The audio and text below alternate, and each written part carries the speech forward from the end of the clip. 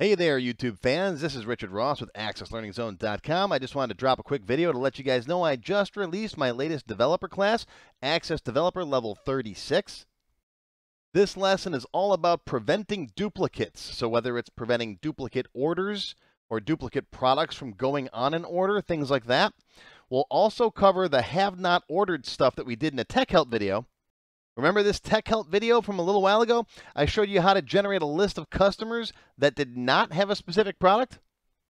And then in the extended cut, we did it with the members database. So you could pick from a list of products and say, I want to see all the customers who don't have this product. Well, in Developer 36, we go one step further. I say, okay, here's a multi-select list box. So you can pick multiple products, and then you can say, show me all the customers who have all of these products, or who have any of these products, or who have, don't have any of them at all. So you can pick from any of those options.